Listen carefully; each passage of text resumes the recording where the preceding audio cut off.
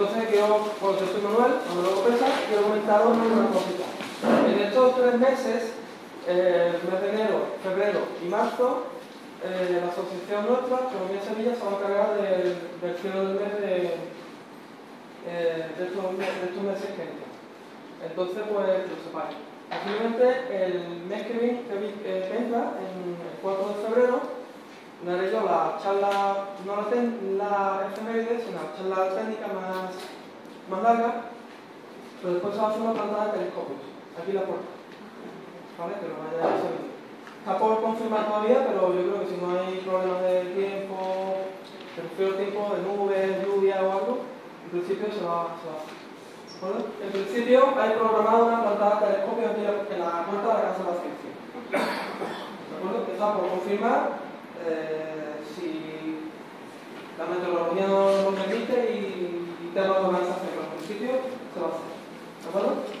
Bueno, entonces, eh, vamos a dar hoy, vamos a hablar sobre la efeméride del cielo del de enero. Eh, yo soy Manuel López, soy el presidente de la Economía Sevilla de hace tiempo y, voy a tratar de ir lo más sencillo posible. No voy a hacer ni hacer astronomía de alto nivel, sino la astronomía la hacemos todos a nivel de calle normales o prismáticos o pequeños, o telescopios. Cuando nosotros miramos el firmamento de invierno, eh, tenemos una característica eh, diferente al, al, firmamento de verano. El firmamento de invierno tiene una eh, transparencia, una nitidez que no tenemos en verano. En verano, cuando tú miras al cielo, lo ves todo coronado, lo ves sucio, lo ves turbulento por, por diferencias de temperatura, hay mucha tierra en la atmósfera, etc. Pero el cielo de invierno siempre es muy nítido, es muy claro. El problema que tiene es la temperatura. En invierno estamos en una temperatura que no, no resulta capaz de, por la cual irnos al campo a, mirar. ¿no? Eh, otro pro que tiene el cielo de invierno es que podemos empezar a observar a las 6, 6 7 de la tarde-noche y cuando son las 2 de la mañana tenemos 6 horas, 7 de, de de, de observación con los telescopios. En verano tenéis que esperar a las 11, 11 y media para poder empezar a mirar. ¿De acuerdo? Bien, este es nuestro cielo que tenemos ahora actualmente. Lo he programado más o menos en el programa para verlo, para verlo eh, sobre el día 15 de enero. Y este es nuestro cielo. Nuestro cielo lo podemos reconocer fácilmente eh, a simple vista si tenemos la vista educada o si ponemos el asterismo. Los asterismos son los dibujos de las constelaciones los asterismos donde podemos empezar a ver las diferentes constelaciones. Básicamente en este mes vamos a tratar con cuatro constelaciones con sus diferentes objetos. No me voy a meter en objetos difíciles de ver, de longitudes muy altas, con lo cual es complicado de observar, etc.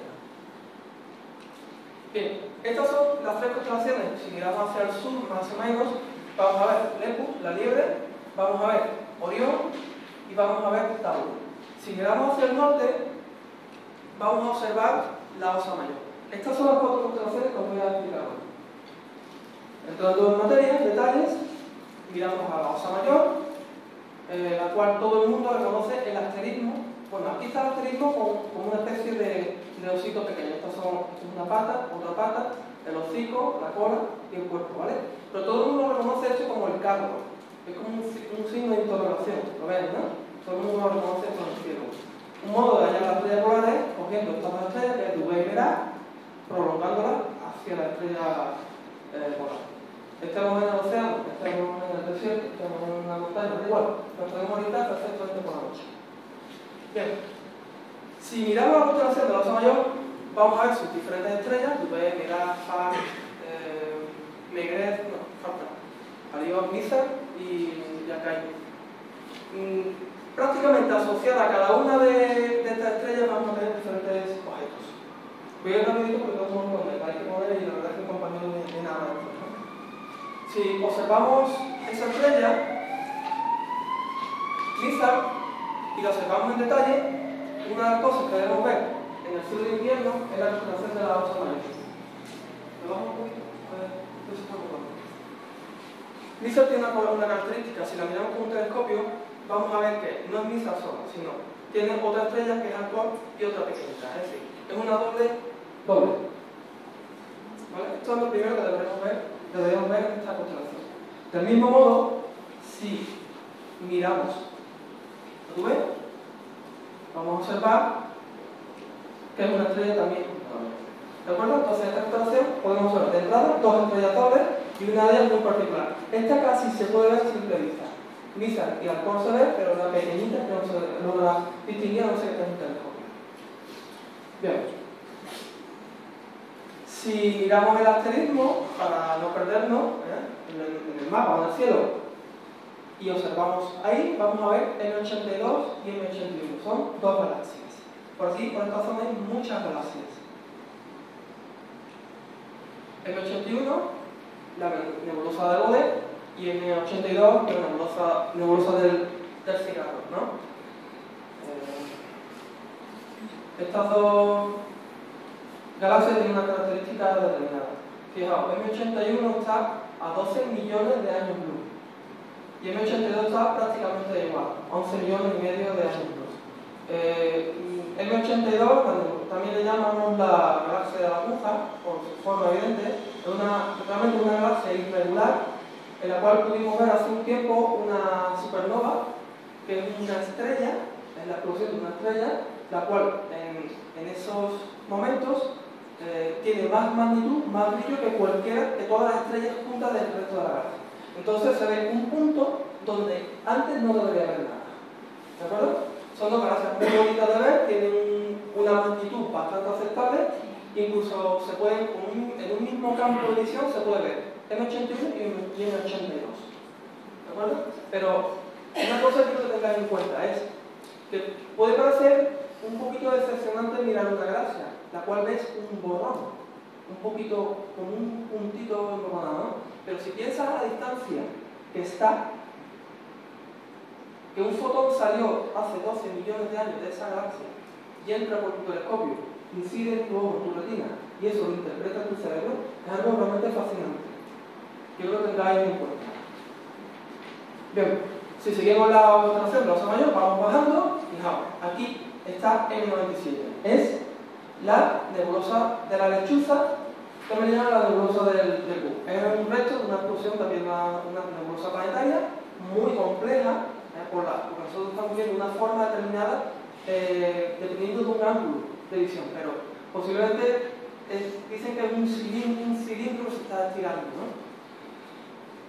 Fijaos, está considerada una nebulosa de las más complejas que hay y está a 2600 años luz no es mucho, comparado con el resto de galaxias que hemos visto. 2600 años luz, pues está prácticamente junto al lado de nuestra casa. ¿no?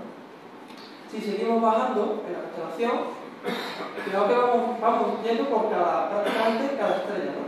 Llegamos a M109, que está junto a FAR. M109 es la galaxia remolino o galaxia aspiradora. Esta galaxia, lo particular que tiene que es la típica espiral barrada. Una espiral barrada, bueno, eh, está a 89 millones de años luz. Es decir, estaban los dinosaurios aquí y esa, esa galaxia estaba emitiendo entonces. Es decir, está llegando la luz ahora que salió hace 89 millones de años. Fijaos la barbaridad de tiempo para nosotros, nuestro concepto del tiempo como seres humanos es muy grande, pero realmente eh, el tiempo para el universo es realmente una fracción de, de nada. Entonces es fascinante mirar esto, saber que, lo que se está llegando todo salió hace tanto tiempo, incluso antes de lo que estamos Es una espiral parada, tiene una especie de barra en el centro y, su, su forma espiral. Si seguimos, Vamos, vamos bajando. Antes estábamos aquí, ahora hemos bajado por toda Misa. Aquí tenemos y tenemos dos galaxias, una que es la galaxia del remolino y otra que es la galaxia del molinete. Son muy parecidas en forma, pero no en cuanto a características. Fijaos, eh, M101 es una galaxia que tiene muchos cúmulos, supercúmulos alrededor de ella. Cada uno incluso de ellos eh, tiene su propio nombre y su propia eh, terminología. Sin embargo, el M51 es diferente, ahora vamos a verlo mejor. El M101 es el doble de grande que nuestra Vía Láctea, así tiene 200.000 eh, años luz de extremo a extremo, y está a 25 millones de años luz. Vale, yo parece que está más cerquita, ¿no? Y esta está a 30 millones de años. Esta es la típica galaxia espiral, además muy bien definido, un núcleo súper bien definido. Todo esto podemos verlo con un telescopio normalito de 6 pulgadas, ¿eh? unos 15 centímetros de, de abertura. M101 tiene una, bueno, ya os he dicho de, que tiene una cantidad de supercúmulos estelares, estos son cúmulos de estrellas repartidos y muchos de ellos son, pues tienen su propio nombre eh, astronómico.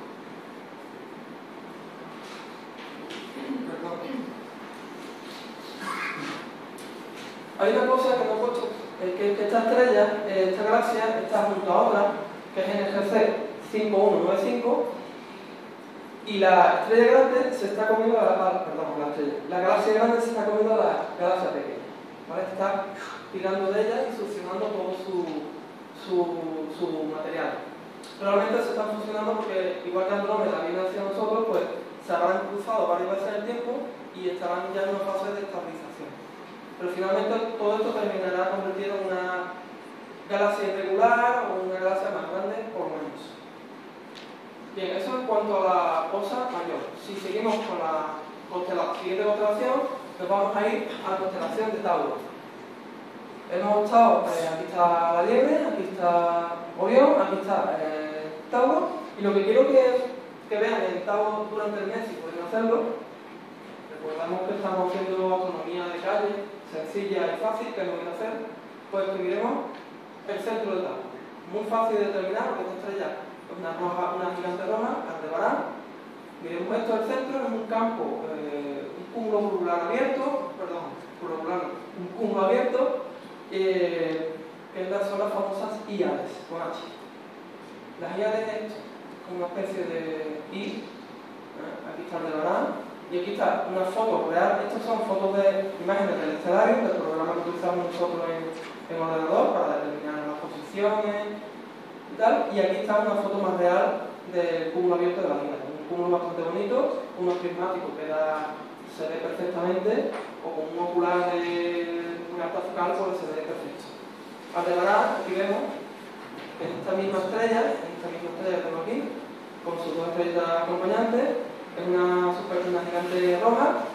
Y esto respecto deciros que, mm, bueno, fijaos, el tamaño de las estrellas. Aldebarán es esto. ¿eh? Nuestro Sol ni se ve el punto siquiera. ¿eh? Rigel, que está en la constelación de fijaos el tamaño que tiene nuestro Sol.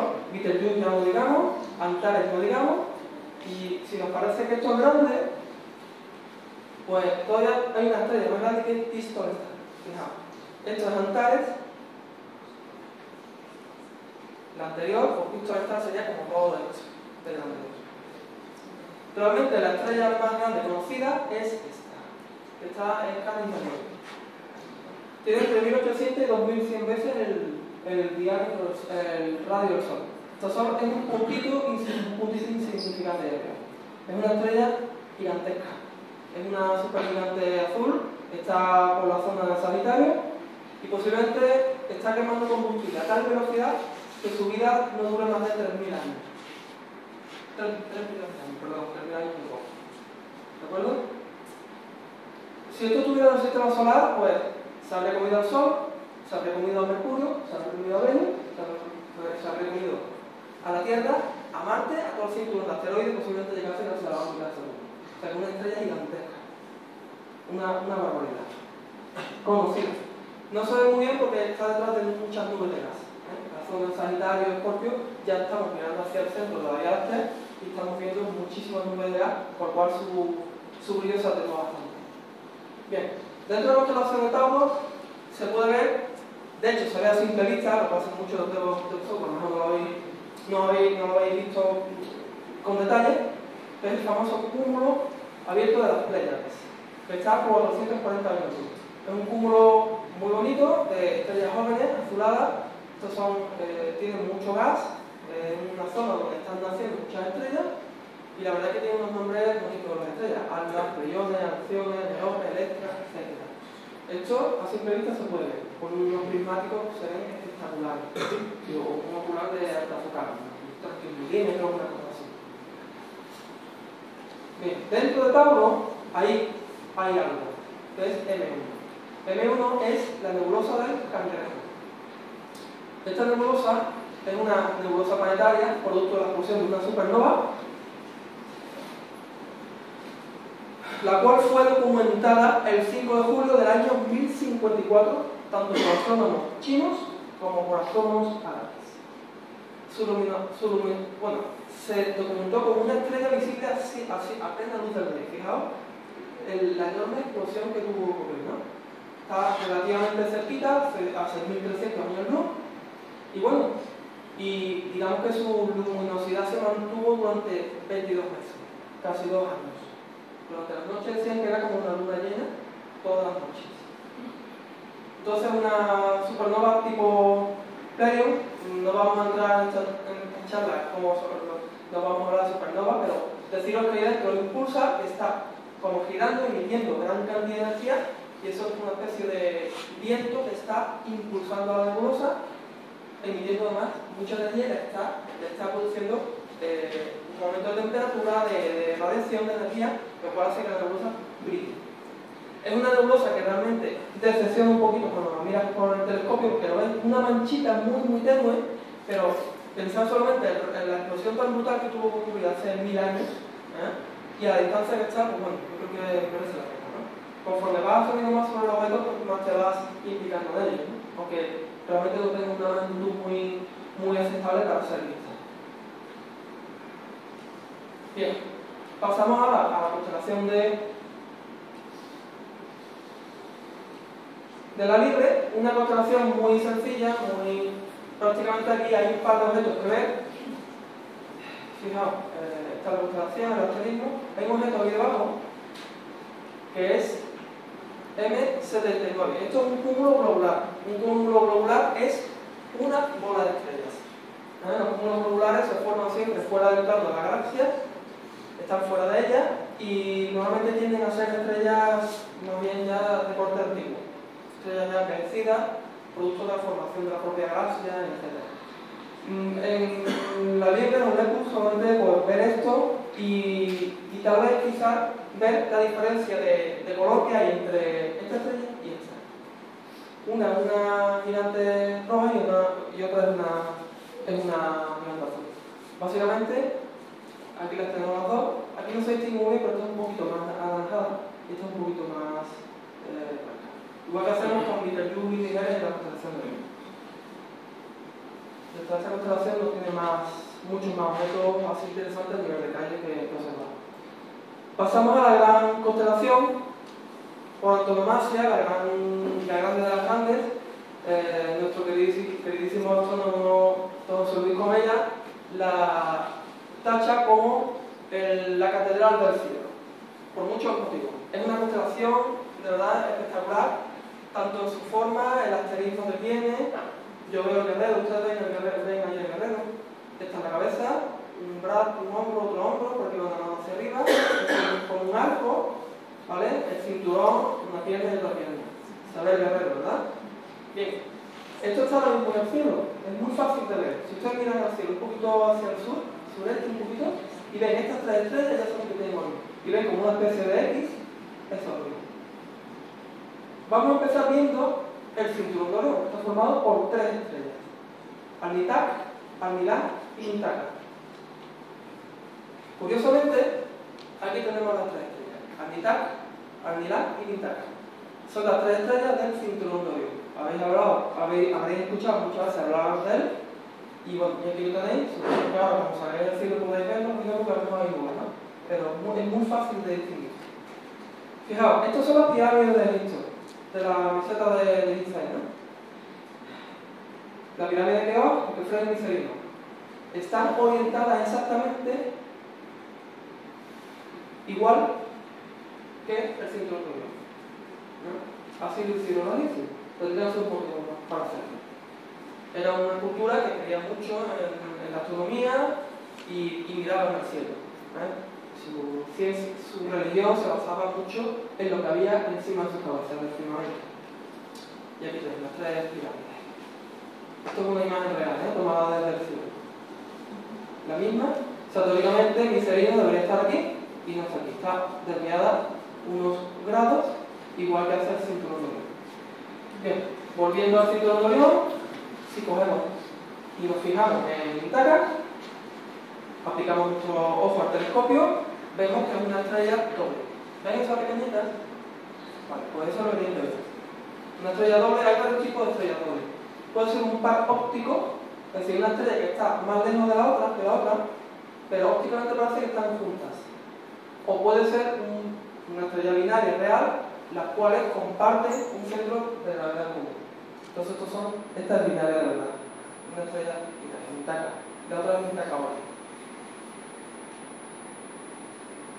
Las tres estrellas del cinturón de pues fijaos, el Sol nuestro es esta punto, ¿no ves? Súper pequeño en comparación con cualquiera de las tres. Son, las estrellas se clasifican en base a dos cosas, a su tamaño y a su temperatura de color.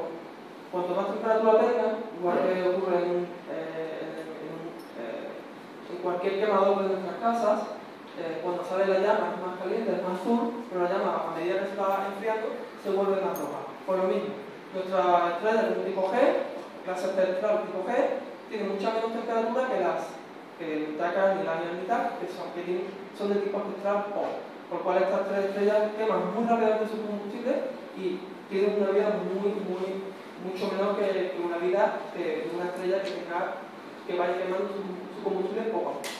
Esta, esta, es la estructura de las tres estrellas del cinturón si nos fijamos en la primera, en la mitad, justamente al lado de ellas hay dos cosas muy interesantes que observar. Esto es un poquito más exigente, ¿eh? a nivel de calle es más complicado La nebulosa de la llama, que está aquí, que es NGC 2024, es una nebulosa de emisión, es decir, una nebulosa de emisión es una nebulosa que ella misma emite luz debido a sus características. ¿Por qué? Porque tiene gas ionizado, que es oxígeno, y hidrógeno ionizado, pero a su vez tenemos una estrella súper cerca que le está emitiendo energía, la cual está encendiendo. ¿Vale? Esa es una estrella, una nebulosa emisión.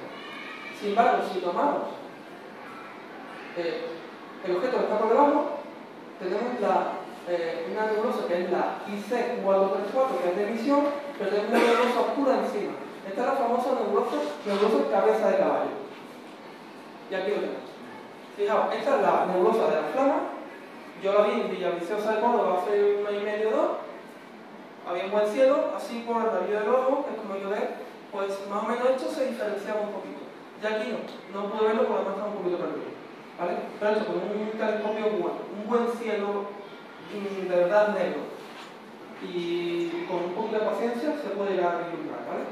Fotográficamente es muy fácil de todo, pues las cámaras de fotos eh, a diferencia de nuestros ojos. Y entonces, pues este es el efecto, el efecto ionizante de la mitad sobre toda la, sobre todo por aquí, ¿vale? Sobre toda la, la nebulosa. Esto puede tener fácilmente, pues, 10 años de distancia. Dentro de Orión tenemos otro objeto que la verdad que cuando miras decepciona, pero cuando te pones a investigar sobre él, mm, te interesa muchísimo que es M78. M78 es una nebulosa de reflexión. Recordad, la, la emisión emite luz, las nebulosas oscuras no emiten nada y las de reflexión reflejan la luz de las estrellas que están en ella o alrededor de ella.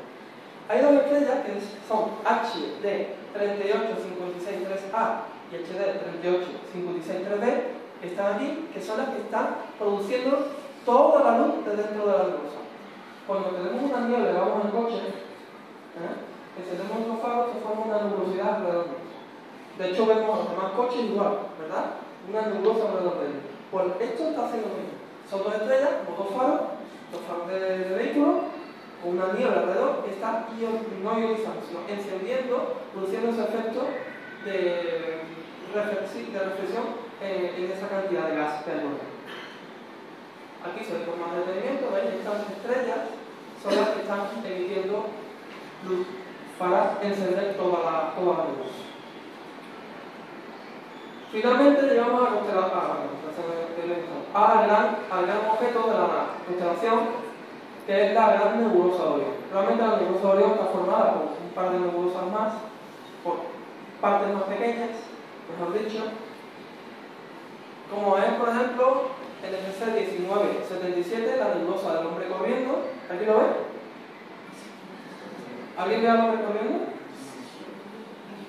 Por encima de la nebulosa Orión, que es esto, está la nebulosa de Mayan, que está aquí, y M42, propiamente dicho, que es la gran nebulosa Orión. ¿Alguien ve la, el hombre corriendo? Vamos a ver, una cabeza aquí, un brazo aquí, otro brazo aquí, el cuerpo aquí, una pierna adelantada y una pierna atrasada. ¿Sí? Ahora sí, ¿verdad? Vale, pues eso es la nebulosa del hombre corriendo, el hombre corre. Está ahí arriba, está justamente encima de la Orión. Lo que pasa es una cosa, es cuando nosotros miramos con un telescopio, si es un, reflector, lo que está arriba se ve abajo y lo que está a la derecha se va a la izquierda y lo que está a la izquierda se va a la derecha. Entonces lo veríamos invertido como, se ve. Bien, ahí sí, ¿eh? Aquí está la cabeza, brazo, otro brazo, el cuerpo, una pierna adelantada y otra atrasada. Va como así corriendo.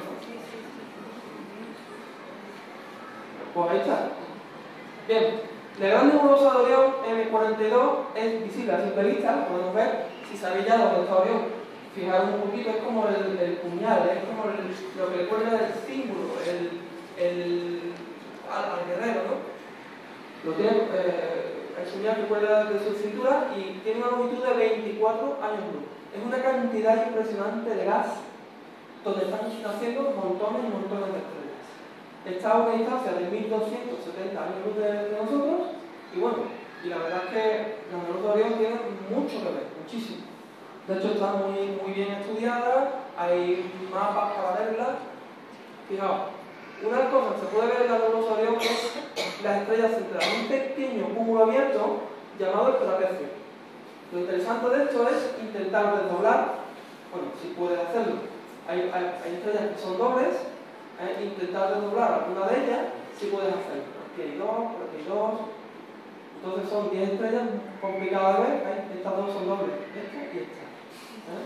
No ven todas, pero se ve el trapecio, pero ya intentar hacerlo bien, intentar resolverlo, que se dice, es más complicado. Pero es un reto, se puede hacer. La nebulosa ya hemos dicho que es muy grande, eh, hay un montón de estrellas naciendo en ella, y la verdad es que hay auténticas nomenclaturas para estudiarlas. Eh, voy a sacar un poco, que no veo las letras. Entonces está. Eh, bueno, está probóscide menor, está. Eh, por aquí está la zona de, las ondas o de las olas, etc. ¿vale? Entonces hay, mapas que se dedican a, indicarte qué es lo que tienes que observar dentro de la propia nebulosa. Ya lo hemos dicho, cuando miras con un telescopio la nebulosa es espectacular, sobre todo en un cielo. Casi, casi llega a vislumbrar un poco de color. Recordemos que nosotros no podemos ver color con nuestro telescopio, excepto si miras planetas o miras estrellas. Es complicado de, de ver color, pero un buen telescopio casi vislumbra un poquito de color. Entonces, pues, vamos a decir, no, las diferentes zonas ¿no? que tiene la, la. Bien, solamente ya para terminar, eh, algunas de las eh, planetas, conjunciones, ocultaciones, alineaciones, etcétera, que se pueden dar durante, durante estos días. Tenemos en nuestro cielo, básicamente, dos cosas principales ahora mismo, que son las cuadrántidas y el cometa Catalina. Las cuadrántidas tienen su máximo, más o menos ahora. El día 4 tuvo su máximo, pero bueno, todavía se pueden ver cuadrántidas eh, radian de, de, de botes, de, de y se estima que hay unos 120 meteoros por hora. Es una lluvia de estrellas, básicamente. El 17 de enero podremos ver, bueno, el 17 no se ve durante más tiempo, pero mmm, se puede ver muy bien el cometa Catalina en su perigeo. El perigeo es cuando ya está en su máxima aproximación al Sol.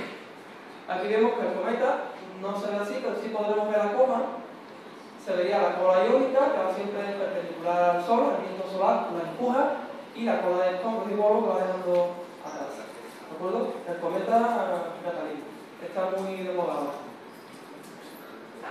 El día 20 de enero podemos ver cómo la Luna se mete justamente dentro de las Híades y se va acercando a Aldebarán. De tal forma que ese mismo día, un poquito más tarde, la Luna se come a Aldebarán. No se lo come, pero lo oculta. Eso es algo que se puede ver también. Y el día 7 de enero, cuando podemos ver la Luna junto a Venus, Saturno, Antares, al amanecer más o. Fijaos, Luna, Saturno, Venus, Antares, este etc.